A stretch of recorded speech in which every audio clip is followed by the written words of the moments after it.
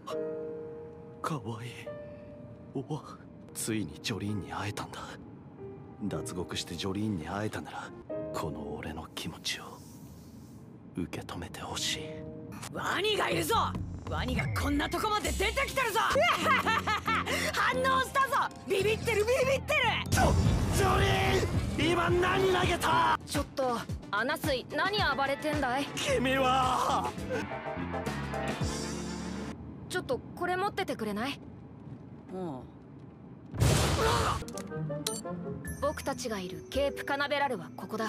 敷地面積3万4000ヘクタールの広大なケネディスペースセンター。列車や定期バスはなく僕たちはまずビジターセンターに向かう。神父のやつもまずこのコースから入場しているに違いない。警備の都合上入場者数を制限していますしばらくお待ちください。次まで15分は待ちますよ。こういうところに不釣り合いっていうか。親切をしたんだからそれでいいだろう。そのためロケットを打ち上げる場所としては赤道に近い方が良いとされています。しかもここケープカナベラルは沖の海面に特徴があります。逆に日本海は30メートルほど盛り上がって高くさらに海面は100メートルまでも上昇すると言われています。冷て。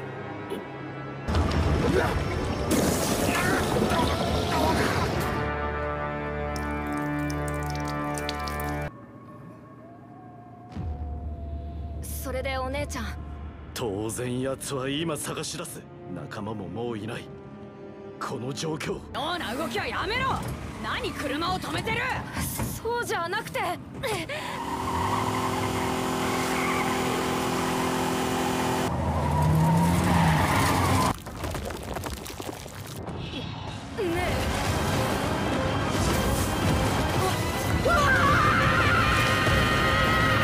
爆発か。何か事故の衝撃か。崩れてなんかいない。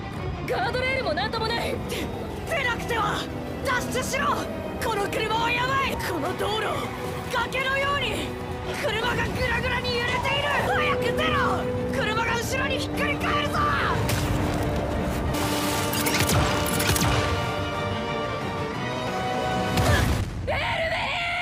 お姉ちゃん滑り落ちるこのままだと僕らも瓦礫に激突してしまうジョリーお前の体が持たない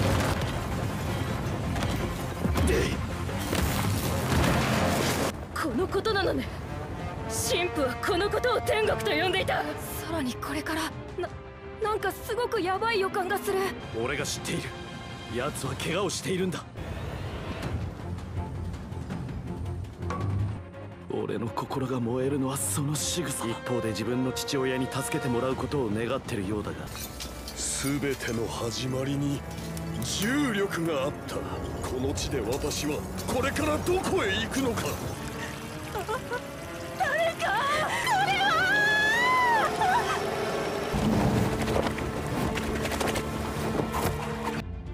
単にこれが壊れてるだけなのかもしれないし。ここはチケット売り場のボックスだジョリー。まるで今までここにいたって感じ。ホ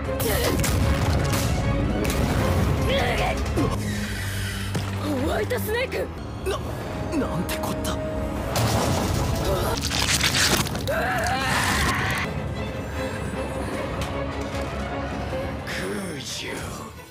ジョリーあエンポリオアナスイのところへ逃げろ。おらおらおらおらおらおら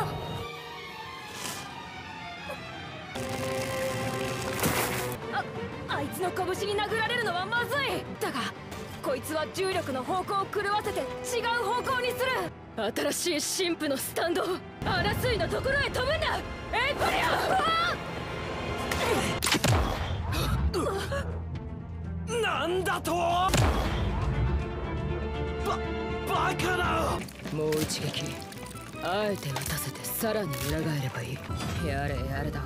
傷口は糸で縫わなくっちゃいけないようだけど。